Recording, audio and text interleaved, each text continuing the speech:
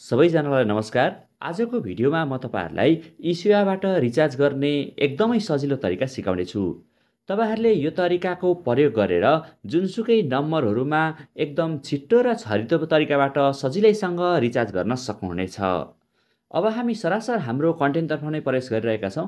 यदि तपाईँहरू यस युट्युब च्यानलमा नयाँ हुनुहुन्छ र अहिलेसम्म पनि सब्सक्राइब गर्नुभएको छैन भने अबका दिनहरूमा यस्तै इन्फर्मेटिभ भिडियोहरू प्राप्त गर्नको लागि यस युट्युब च्यानललाई अनिवार्य सब्सक्राइब गर्नुहोस् अनि सब्सक्राइब गरेपछि छेउमा रहेको बेलायकनमा प्रेस गरेर अलमा दबाउनुहोस् जसले गर्दा यस च्यानलमा अपलोड हुने हरेक भिडियोहरू सजिलै प्राप्त गर्न सक्नुहुनेछ।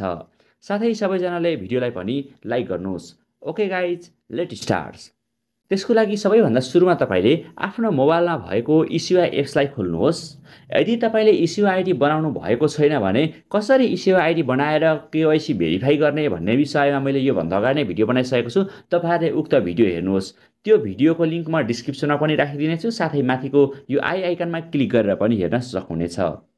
ओके यसरी इसिआई एप्सलाई खोलिसकेपछि अब तपाईँले यहाँनिर लगइन एन्ड रजिस्टर भन्ने देख्न सक्नुहुनेछ।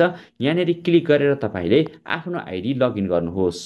यहाँ लगइन गर्नको लागि यहाँनिर तल लगइन विथ इसिओ आइडी भनेको छ यहाँनिर टच गर्नुहोस्। त्यस पछाडि तपाईँले यहाँनिर इसिओ आइडी भनेको ठाउँमा आफ्नो इसिओ आइडी अथवा नम्बर राख्नुहोस्। त्यस पछाडि एमपिन अथवा पासवर्ड भनेको ठाउँमा तपाईँको एमपिन अथवा पासवर्ड राखेर लगइनमा क्लिक गर्नु भने लगइन हुनेछ।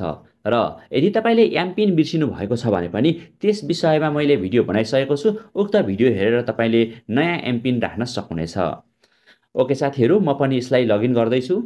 यसरी तपाईँ आफ्नो इसियो एकाउन्टमा लगइन भइसकेपछि तपाईँकोमा यस्ता विभिन्न अप्सनहरू आउँछन्। हामी यसरी यसको फ्रन्ट पेजमा पुगिसकेका छौँ। अब तपाईँले यहाँनिर देख्न सक्नुहुनेछ यहाँनिर टपअप एन्ड डाटा भनेको छ। तपाईँले यहाँनिर क्लिक गर्नुहोस् टपअप भन्ने ठाउँमा। टपअपमा क्लिक गरिसकेपछि यहाँनिर देख्न सक्नुहुनेछ टेन डिजिट मोबाइल नम्बर अथवा ल्यान्डलाइन नम्बर भनेको छ एट डिजिटको। सो तपाईँले केमा रिचार्ज गर्ने हो त्यो यहाँनिर क्लिक गर्नुहोस् जस्तै यहाँनिर म मेरो नम्बर राख्दैछु। यसरी तपाईँले यहाँनिर आफ्नो नम्बर राखिसकेपछि तलतिर देख्न सक्नुहुनेछ एमाउन्ट भनेको छ। तपाईँले कति रुपियाँ रिचार्ज गर्ने हो त्यति रुपियाँ यहाँनिर लेख्नुहोस्। यसरी तपाईँले रिचार्ज गर्न चाहेको ब्यालेन्स रकम यसरी टाइप गरिसकेपछि यहाँनिर तल लास्टमा प्रोसिड भनेको छ यहाँनिर टच गर्नुहोस्। यहाँ टच गरिसकेपछि तपाईँले यहाँनिर कन्फर्म भनेको छ यो कन्फर्ममा टच गर्नुहोस्। यहाँ क्लिक गरिसकेपछि अब तपाईँले यहाँनिर देख्न सक्नुहुनेछ एमपिन भनेको छ। यो एमपिन भनेको ठाउँमा क्लिक गरेर चाहिँ तपाईँले आफ्नो एमपिन हान्नुहोस् र कन्फर्म गर्नुहोस्। यसरी तपाईँले एमपिन हानेर कन्फर्म गरिसकेपछि उक्त नम्बरमा रिचार्ज लाग्नेछ। साथीहरू तरिका एकदमै सजिलो छ। तपाईँले सिक्नै सक्नुभयो भन्ने मैले आशा गरेको छु।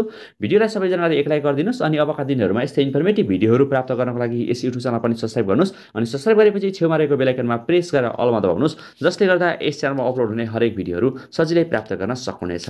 धन्यवाद।